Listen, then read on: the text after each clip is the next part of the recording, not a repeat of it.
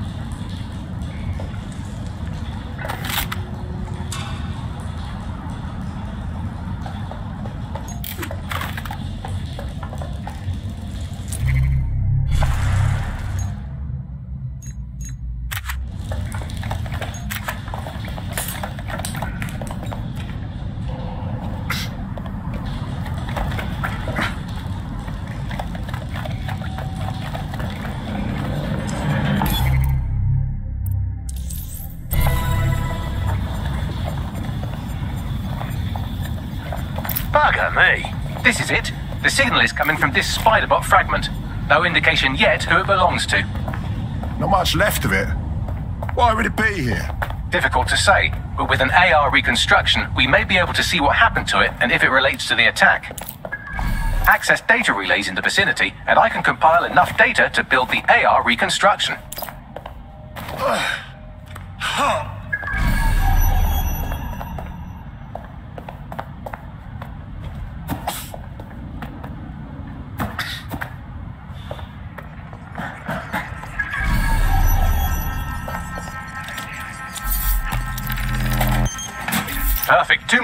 relays to go.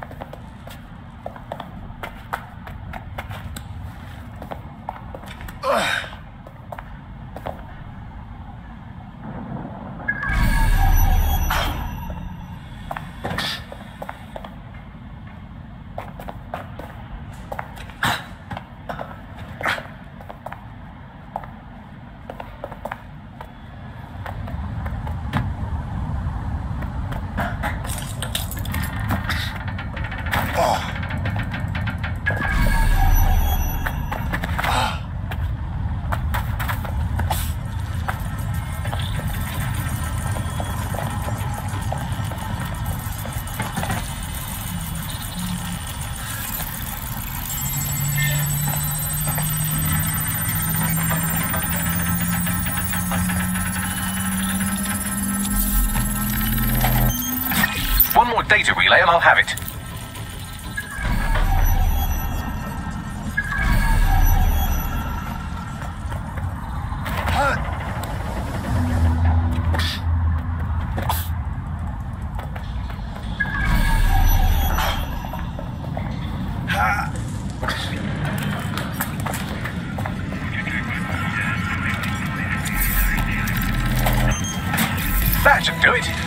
Just take the audio from this stream and the video from these 36 and...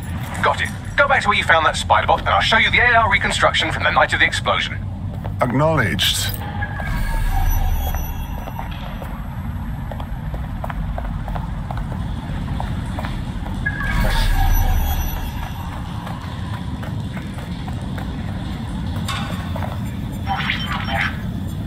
CTOS AR. Data reconstruction in progress. You brought the payload? Fuck, think we'd go back to you? Don't trust the Kelly dog.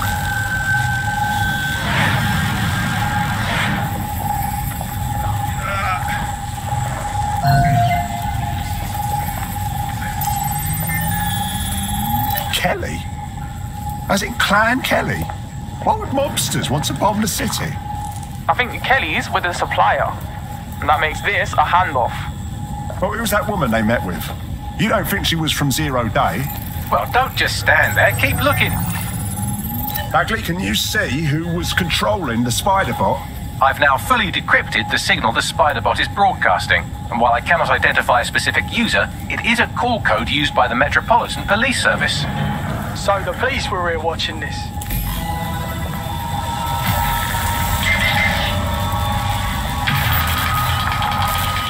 The reconstruction continues behind that rubble. Brilliant. Suppose I'll just quantum tunnel through all this. Quantum tunnel technology's at least 10 years away, but Spiderbots and drones are here today. You could try one of those if you don't feel like waiting. Not a bad idea.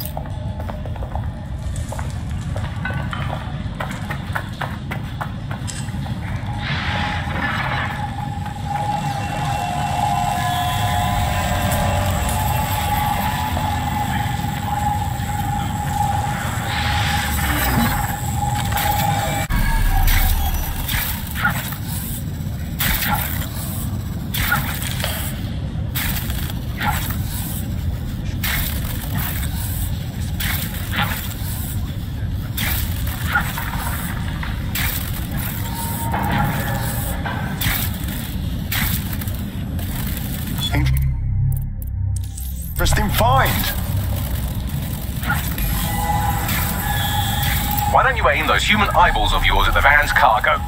Acknowledged.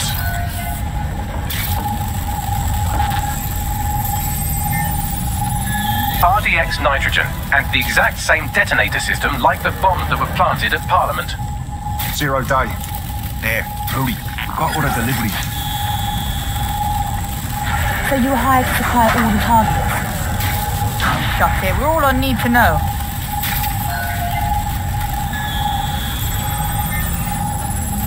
Zero Day somehow got multiple organizations involved. I see.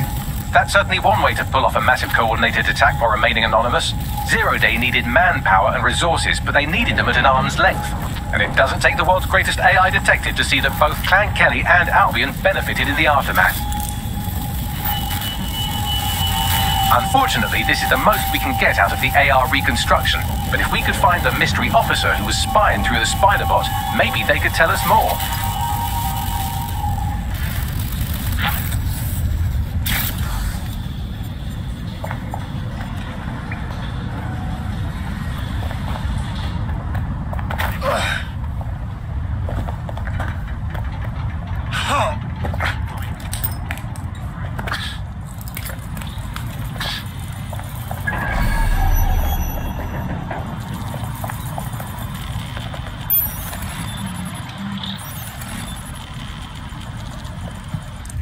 Looking to automate our jobs.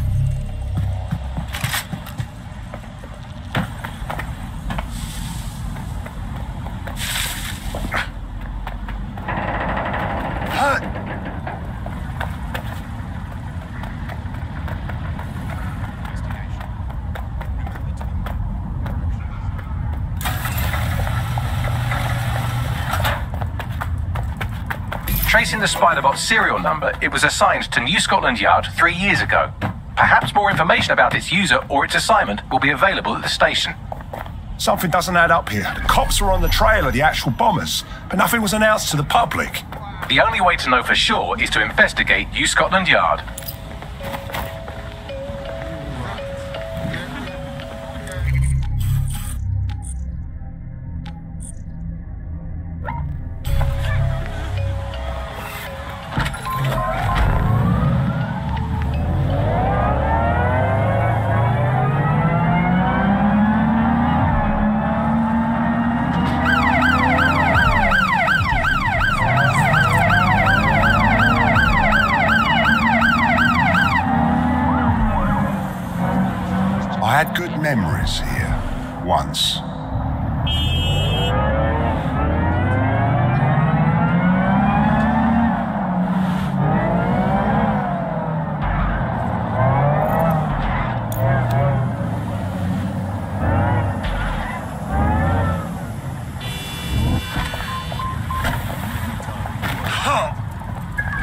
I guess Albion has seized control of the station.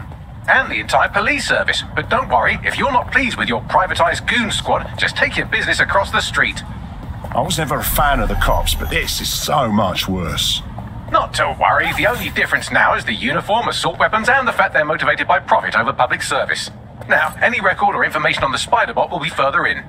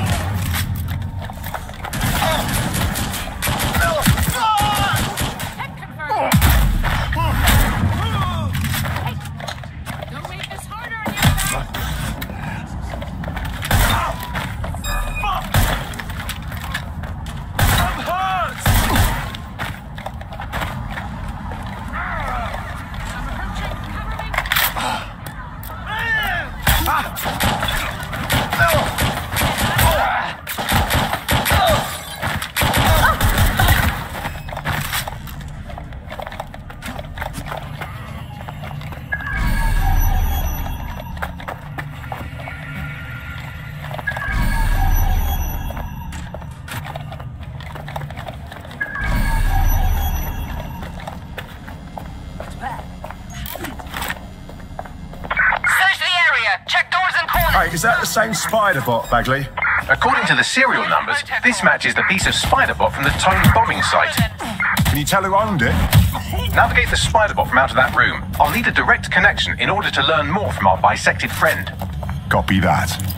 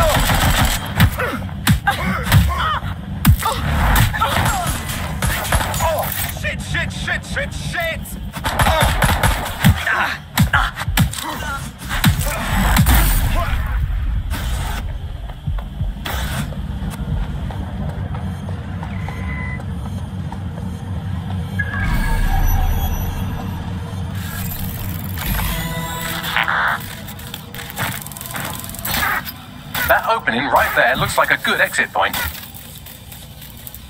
Right, get comfy. This spider bot might be broken and missing some of its legs, but it can still jump and fit through vents. That's a good way to get through the station undetected.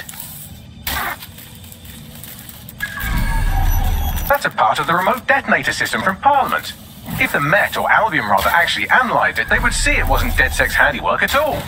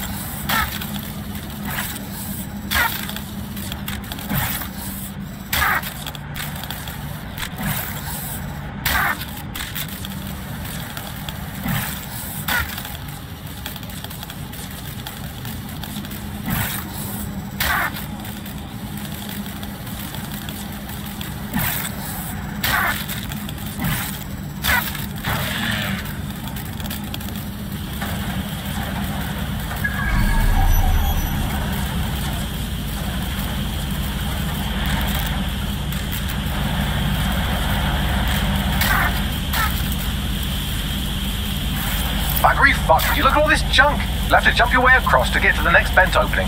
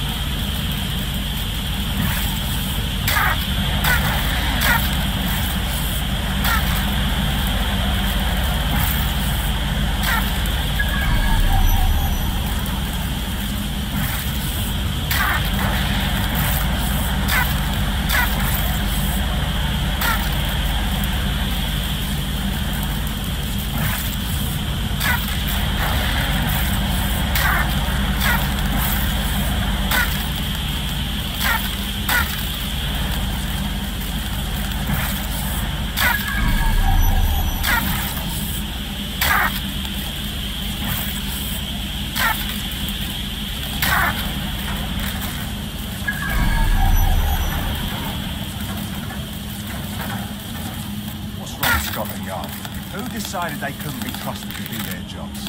Suddenly some corporation can clean up our streets better than the same police force we've had for who knows how long. When crime fighting is treated like a business, crime will never go away. Now that we've had the business right, don't tell me Albion has our best interests at heart. If the police could handle their job, Albion wouldn't be necessary. But they can't. The tone bombing is another example. A lazy, overpaid Well, they're not a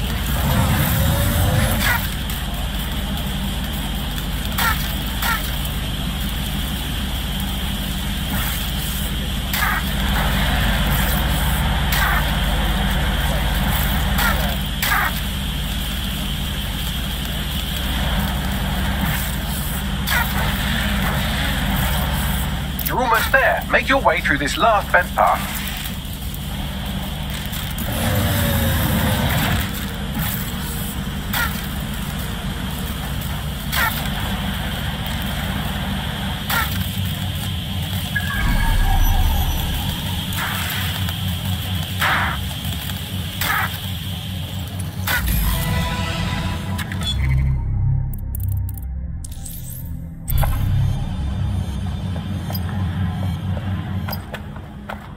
Acquired. Scanning Spybot and accessing its internal drives. While I'm analysing this data, you should make yourself scarce. Unless you'd like to explain to your new, heavily armed, privatised police force why you've broken into the station. Yeah, all right.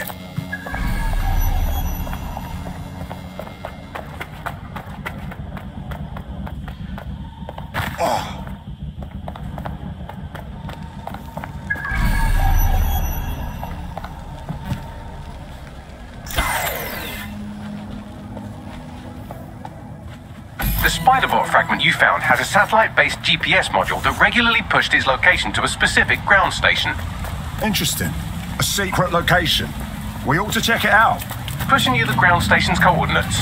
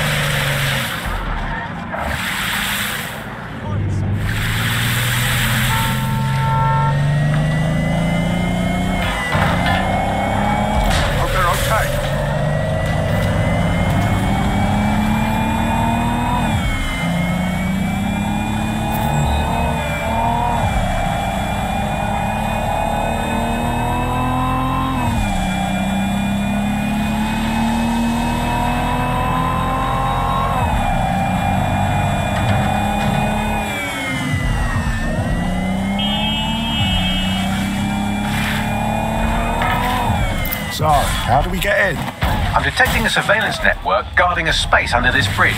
If you can patch into it, perhaps you can take a look inside. The GPS history of the spider Spiderbot we recovered regularly pings these coordinates. Our mystery witness to the real bombers must have come to this lovely, damp location several times. No one would come here accidentally, that's for sure. The perfect place to plan a terrorist attack. Or to discreetly dump a body into the Thames.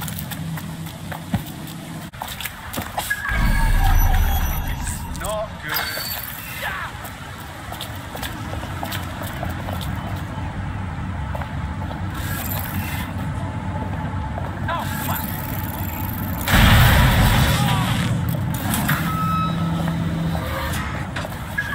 Run them out! Drone, spread out and search.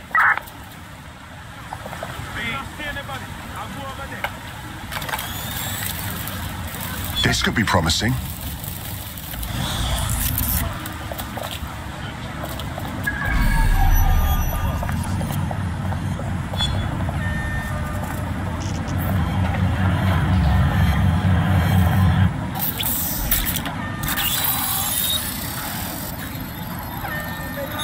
Unable to locate suspect.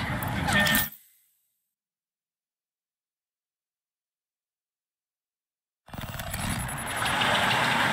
Well, looks like a rogue cop set up shop down here. Well, if Albion was stopping all over your workplace, you'd find a different place to store your lunch too. And it seems our mystery officer was dedicated. I wonder what led them to the tone bombing. The computer's dusty enough to kill an asthmatic, but there may still be something useful on it.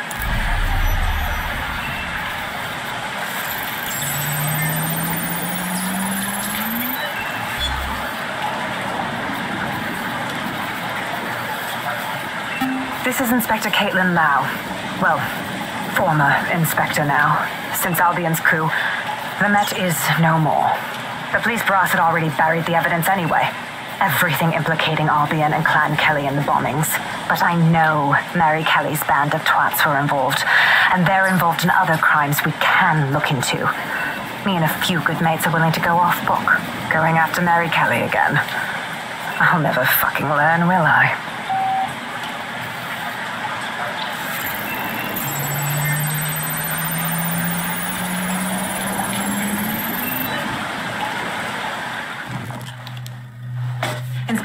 Lau, video log. Clan Kelly and Albion are teamed up on some deal. I don't have all the details, but it looks to be human trafficking. The European Processing Center is the Albion angle. Since the bombings, they can grab anyone off the street. Call them illegal immigrants, potential DedSec insurgents, whatever. Though we know who the real danger is. So, Clan Kelly gets hold of these people, these immigrants, deportees, victims, really, and they're taking them somewhere. But where and why? it all comes back to the boss lady herself. I knew she was into something, but she wriggled off the hook. There's only one way I can do this 24 7 surveillance on Mary Kelly. If I'm caught, well, this will be my last entry, but I have to see what she's hiding.